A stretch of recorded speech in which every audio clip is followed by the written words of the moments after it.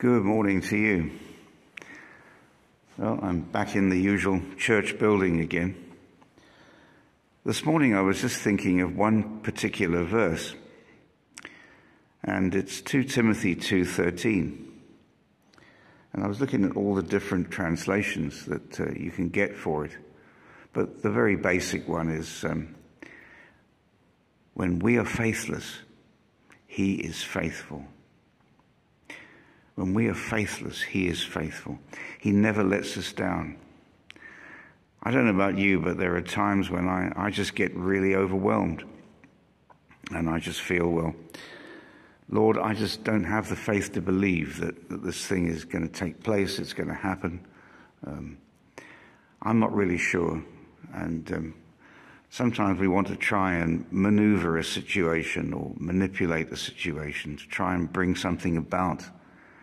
And um, yet, really, we're powerless. We can't do it. And all we can do is trust in God. Yet we just we feel too weak. And I get days like that. I get times like that. And um, we just can't seem to say, Lord, well, I know if I just ask you for something, you'll do it.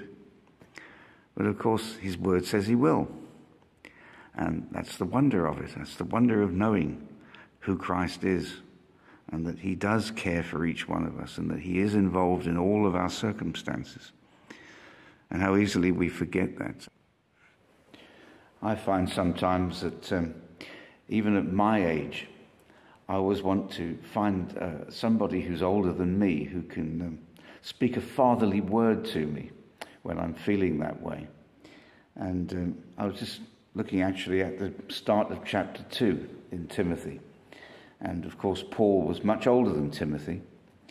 And uh, Timothy had the blessing of having somebody like the Apostle Paul to uh, speak into his life and to uh, speak words of wisdom to him. And uh, I suppose, in a way, I, I'm kind of translating it to looking at myself as the Timothy and hearing Paul's words. And uh, I'll just read the uh, beginning of chapter 2, just a few verses down to where I, I, I said at verse 13. Thou therefore, my son, be strong in the grace that is in Christ Jesus. And the things that thou hast heard of me among many witnesses, the same commit thou to faithful men, who shall be able to teach others also. Thou therefore endure hardness as a good soldier of Jesus Christ. No man that warreth entangleth himself with the affairs of this life, that he may please him who hath chosen him to be a soldier.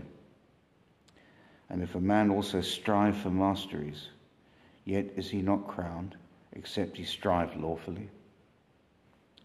The husbandman that laboureth must be first partaker of the fruits. Consider what I say and the Lord give thee understanding in all things. Remember that Jesus Christ, of the seed of David, was raised from the dead according to my gospel, wherein I suffered trouble as an evildoer, even unto bonds. But the word of God is not bound. Therefore I endure all things for the elect's sakes that they may also obtain the salvation which is in Christ Jesus with eternal glory. It is a faithful saying, for if we be dead with him, we shall also live with him. If we suffer, we shall also reign with him. If we deny him, he also will deny us.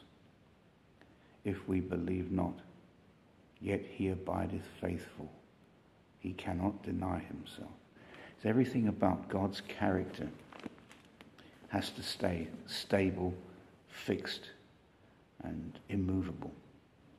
And that is why God is faithful when we are faithless. He holds on to us. His character is sure and unchanging, unlike us. How fickle we are at times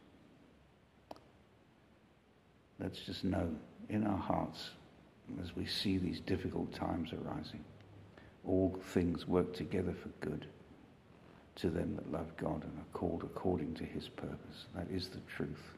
Whether we feel it or not doesn't matter. It is the truth.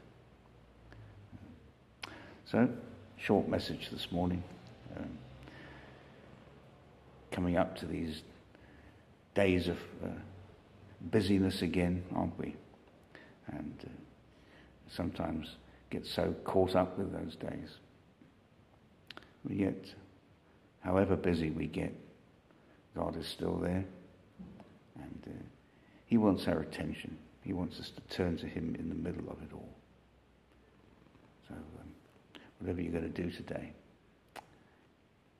turn to Him. And remember, if you're in a circumstance that just you feel hopeless in it, know that He is faithful and He will bring you through it. Have a blessed day.